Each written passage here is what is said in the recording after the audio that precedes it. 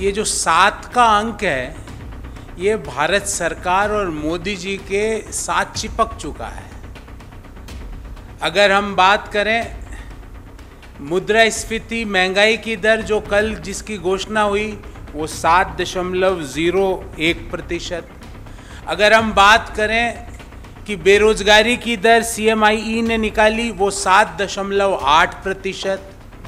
अगर हम बात करें एक जनवरी से लेकर अब तक रुपये में कितना हाश हुआ, रुपया कितना डेप्रिशिएट हुआ तो वो सात प्रतिशत। एक ज़माना था, हमारे साथ भी सात का अंक चिपका था 2004 से 14 पर हमने उसको चिपकाया था जीडीपी की विकास दर में। हमारी जो एवरेज ग्रोथ रेट है 2004 से 14 वो सात प्रतिशत से ज़्यादा रही थी।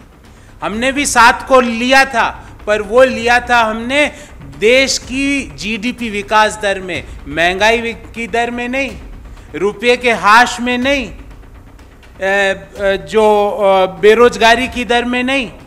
साथियों, कल जो महँगाई दर के आंकड़े घोषित हुए, उसके बाद ये प्रतीत होता है कि जैसे जैसे महँगाई की दर इकोनॉमी में बढ़ती जा रही है। वैसे के वैसे मोदी सरकार की अयोग्यता, इन इन इन कैपेबिलिटी और incompetence to handle economy देश के सामने आ रही है।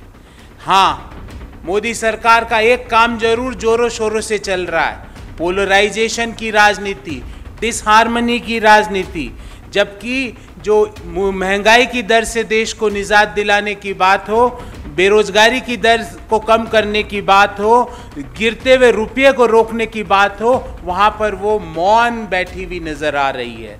मैं कुछ आंकड़े लेके आया हूँ और ये सारे आंकड़े भारत सरकार ने जो कल अपनी प्रेस विज्ञप्ति जारी की उसमें से लिए हैं। देश ने पिछले महीने, जून 2022 में बेरोजगारी की दर देश में सात दशमलव आठ प्रतिशत थी और 25 लाख 25 लाख लोगों ने अपनी नौकरी सिर्फ़ जून 2022 में खोई है। ये मैं नहीं कह रहा, ये सी एम आई ई का आंकड़ा है कि 25 लाख लोगों ने सिर्फ़ एक माह में अपनी नौकरी खोई है। उसके जब नौकरी खो रही है, लोगों की लगातार नौकरी जा रही है, उसमें आग में घी का काम कर रहा है, लगातार बढ़ता हुआ महँगाई दर। महँगाई दर लगातार पिछले 33 महीनों से अगर मैं बात करूँ तो रिज़र्व बैंक का जो मीन टारगेट है, चार प्रतिशत उससे ज़्यादा है, और पिछले छः महीने से महँगाई की दर रिज़र्व बैंक की जो अपर लिमिट है छः प्रतिशत उससे लगातार ज़्यादा चल रही है।